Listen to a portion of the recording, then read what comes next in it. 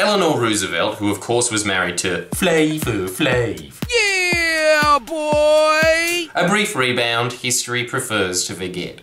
As it clearly never happened anyway, she had one of the most insightful observations of the 20th century, which was small minds discuss people, average minds discuss events, great minds discuss ideas. Oh, so true. So true. Now, using this scale, where would you put people who say, Tell you I'm not voting for that Bill Shorten bloke. Fuck his face gives me the shits. I don't know, Gogglebox won Best Factual Program at the Logie Show. Jury's still out. I mean, after Tony Abbott was dumped for Malcolm Turnbull and the polls immediately shot up for his party, where they're in an election winning position and have maintained that since, despite changing nothing apart from a face, it's official. Most Australians are morons, hoping they'll be spared the embarrassment of admitting they're stupid by quickly cobbling together some half-assed rustic wisdom, channeling their inner Hagrid by sputtering, I vote on who I think has a better character, Harry. Because character shapes decisions. Despite even Liberal member after Liberal member telling the press publicly he's a complete and utter narcissist who will sacrifice anything and anyone to satisfy his own personal ambitions. And what better example of this than gay marriage, whose legislative name is changed under his tenure to, yes, yes, gay marriage, what kind of bigot wouldn't want that? And, oh, it won't help me be Prime Minister? Fuck it. Originally an open and avid supporter of gay marriage, criticising resolving the issue using a plebiscite as an inferior option, who is now opting for the inferior option. And by inferior option, we're talking the difference between tickets to an Eminem show and tickets to Kid Rock. Because all a plebiscite is is a number which politicians look at and think. Oh, so 72% of Australians want gay marriage. But 72% of Australians aren't Cory Bernardi, who's truly one of a kind.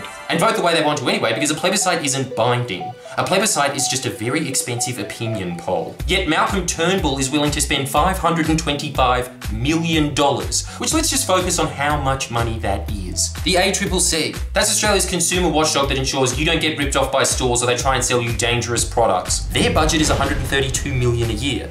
APRA, the commission that deals with corruption in the banking industry. God knows that needs more funding when thousands of cases a year go unanswered. They only get $123 million. The funding to rural assistance, which helps farmers in times of drought, i.e. right now. They only get 205 million. The funding to natural disaster relief, 33 million. In other words, you could double the funding to these vital and severely underfunded institutions with enough money left over to build a theme park entitled Gay Time, where the only thing that melts quicker than the ice cream is prejudice. But instead of just passing it like Labor and the Greens will, for free, just as democratically, because in case you haven't noticed, we don't need to go to the polls a second time. We're having an election on Saturday. In fact, less than free, as gay marriage is expected to pump hundreds of millions of dollars into the economy, and we already know exactly what a plebiscite will teach us, because in case you've never watched Sunrise or The Today Show for longer than three seconds, we already have opinion polls. 72% of Australians want gay marriage passed. Yet Malcolm Turnbull is willing to spend half a billion dollars on far-right fringe groups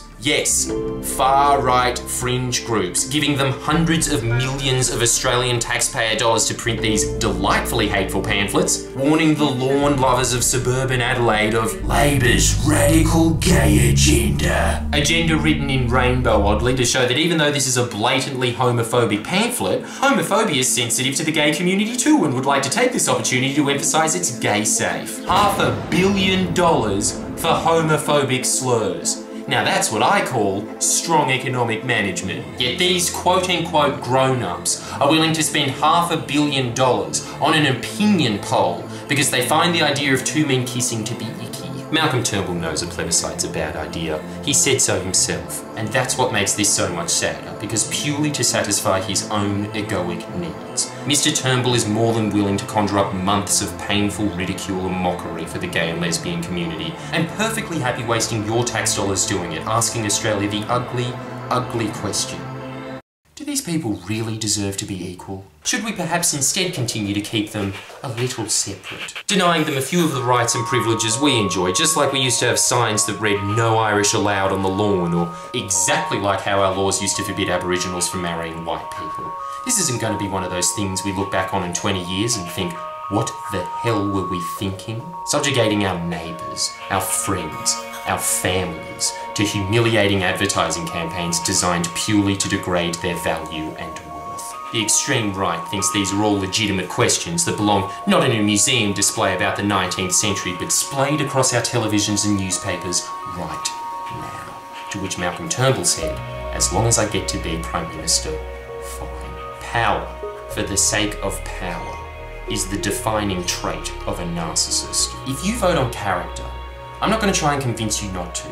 I'm just asking you to follow your own damn criteria, because character is forged by action, and those actions speak for themselves.